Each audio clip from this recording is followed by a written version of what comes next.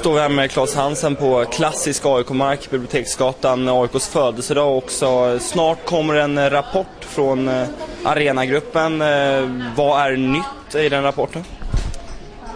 Ja, det beror på. Eh, vad som är nytt i förhållande till delrapporten är ju att eh, nu kommer vi vissa konkreta slutsatser och eh, rekommendationer och vi kommer även att komma med ett förslag till en beslutsprocess i arenafrågan. Med, eh, ja, så att vi kommer till avslut i arenafrågan vad gäller olika alternativ eh, och att det samtidigt ska finnas en transparens och insyn i arenafrågan från medlemmarna och intressenterna i AIK Fotboll. Och just nu eh, känns det bara som det är eh, två olika alternativ, eller har jag fel där? Det stämmer inte riktigt. Vi kommer att avhandla fyra alternativ i rapporten. Sen kan vi konstatera, eller Råsunda, vår nuvarande hemmaplan, att där finns det en detaljplan ifrån Solna stad som eh, i princip säger att man vill riva och bygga bostäder och kontor. Eh, så, så att politiskt kommer ju det alternativet att se eh, omöjligt ut för AIK. Eh, då är, då är det kvar tre alternativ. Det är något eget projekt, det är Stockholmsarenan och det är Swedbank Arena. Eh, och eh, då gäller det primärt som jag ser att, att vi kommer fram med en beslutsprocess eh, där vi kommer till avslut i olika delfrågor under det här året för de tre alternativen. Vad är det eh, AIK har prioriterat att, eh, att vi ska få, vilka fördelar vi vill ha och liknande när vi utvärderar de här olika alternativen? Man kan kalla det att det har varit en dialogfas eh, med de befintliga hyresalternativen i Stockholm. En dialogfas där AIK Fotboll AB har eh, jobbat hårt med att eh, samla in information och få så mycket information som möjligt om vad förutsättningarna vad det innebär att spela på de här två arenorna. Eh, och där har vi en ganska god bild idag. Eh, ja, det är väl ungefär så det ser ut idag dagsläget, eh, har ni någonting eh, konkret ni kan eh, förmedla eller är det så att ni får vänta till rapporten kommer ut nu i mitten av, eller slutet av februari? Vad gäller detaljer och exakta ordval och för och nackdelar med olika alternativ och så väljer jag nog att vänta till själva rapporten kommer. Ehm, det handlar om att väga ord på guldvåg ibland och ehm, så det, det, det, vi får vänta en och en halv vecka till. Exakt hur tydlig kommer rekommendationen vara? Kommer det vara så att ni bara ställer allting mot varandra eller kommer det vara så att det här alternativet är det alternativ som bör väljas? Eller hur kommer det se ut? Det låter lite tråkigt men det kommer att vara en beslutsprocess där det är väldigt viktigt att det är transparent och det är insyn och att det är stabila spelregler för alla inblandade parter. Eh, naturligtvis så har vi vissa slutsatser som vi drar om olika alternativ. Men eh, det går ju inte att eh, uttala sig tvärsäkert om varje alternativ och säga att det här är Bibeln i den här rapporten. Utan eh, det är ju prognoser och det är bedömningar och det är kalkyler. Och det är våra bedömningar i den här rapporten.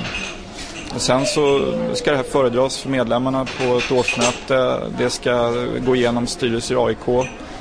Eh, vi vet idag att realistiskt sett så finns det två alternativ från 2013 för AIK. Därför att det tar, om ett eget projekt överhuvudtaget ska vara realistiskt, eh, så tar det minst fyra år. Eh, då vet vi att det finns två hyresalternativ realistiskt från 2013. Eh, och eh, då måste man ju förhandla med dem i så fall, någon gång inom 2011. Eh, och innan man har gjort den förhandlingen och fört den ända in i kaklet så har vi inte hela bilden klar för oss. Hur eh, viktigt är det att man har en anknytning till Råsunda och AIKs eh, Solna-anknytning, att den finns kvar, att, eh, till exempel att det blir Swedbank? Det beror på vem du frågar. Och, eh, vi har ju, AIK Fotboll AB har ju gått ut med en enkät alldeles för någon vecka sedan. Eh, som ett första försök att bara få en indikation på allt annat lika. Eh, hur viktig är den geografiska anknytningen? Tanken är väl att när vi har publicerat rapporten kan också ge en mer ekonomisk bild utav vad olika alternativ innebär. Så är det läge att ställa frågan igen. Jag, jag tror att eh, det beror på vem du frågar hur viktigt det är. Och det, ja, och det, det måste vi ta reda på också en hel del röster har höjts om att den här processen, att AIK har skött processen dåligt, att det hade kunnat funnits eh, bättre alternativ om man hade börjat tidigare. Hur nöjd är du ändå med det ni har kommit fram till så här långt? Känns det som att AIK ändå sitter i en helt okej sits eller känns det alldeles för dåligt? Det är svårt för mig att recensera om det har skötts bra eller dåligt eftersom jag har varit eh, djupt involverad de senaste eh, två åren. Allting kan alltid ha skötts bättre. Samtidigt, är, AIK har inte en arenafråga så pass ofta. Förra gången vi hade en arenafråga, det var på 30-talet och alla som var inblandade då är döda. Och när jag kom in i den här frågan så saknades det erfarenhet och, och lite kunskap i den. Men eh, jag tycker inte att vi sitter i en dålig sits idag. Eh, jag tycker det är synd att eh, Råsunda försvinner på det sätt som det gör utan att det noggrant har prövats. Men eh, det, den, den, frågan kanske i själva verket eh, avdömdes redan när AIK gjorde sig av med sin andel i Råsunda och det var på 1980-talet. Eh, så det, det, är alltid lätt att vara klok i efterhand. Det är, och det är alltid lätt att recensera efterhand men det är betydligt svårare att, att föra en process framåt och, och göra aktiva val. Men det är vad vi måste göra nu det här året. När får vi se rapporten? Eh, enkel fråga. Den ska publiceras 22 februari. Får vi avsluta här Claes, jag tänkte bara fråga dig, kanske inte exakt ditt ämne men eh, Råsunda, vi pratar om att det ska rivas. När kommer ett beslut exakt när Råsunda försvinner och när AIK vet att det här kan bli sista matchen på Råsunda?